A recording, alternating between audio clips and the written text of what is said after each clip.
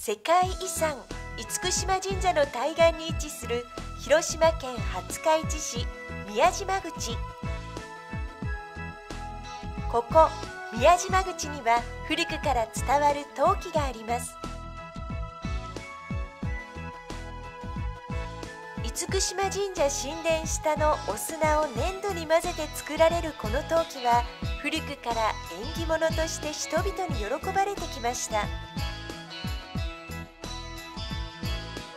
宮島お砂焼き。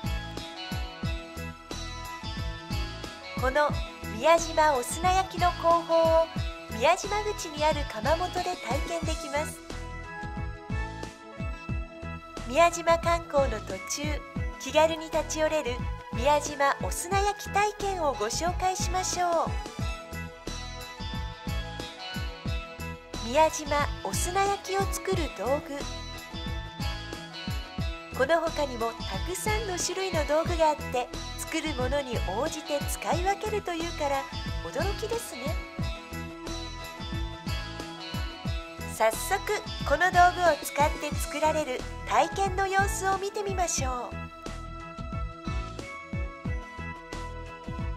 粘土板の上で粘土を練り水分を均一に行き渡らせます。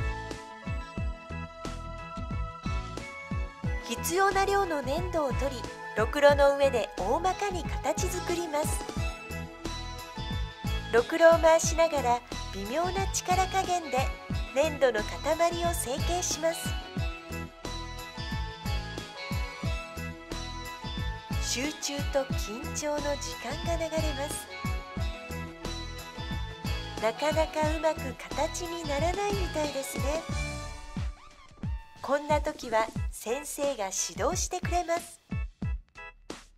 先生の手にかかればあっという間。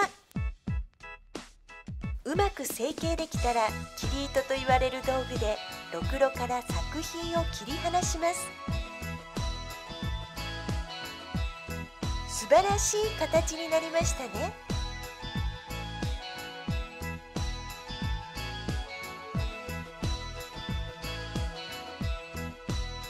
自然乾燥させた後700度の窯で素焼きされると丈夫に引き締まりしっかりとした作品ができます。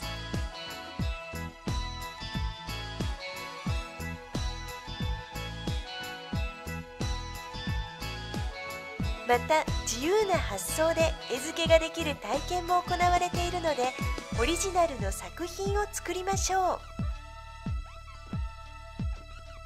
仕上げに釉薬をつけ1230度の窯で本焼きされます。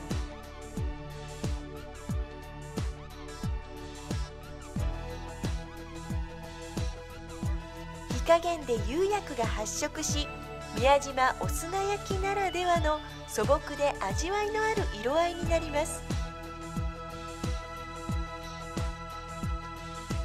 世界遺産厳島神社神殿下のお砂を含んだ縁起の良い宮島お砂焼き。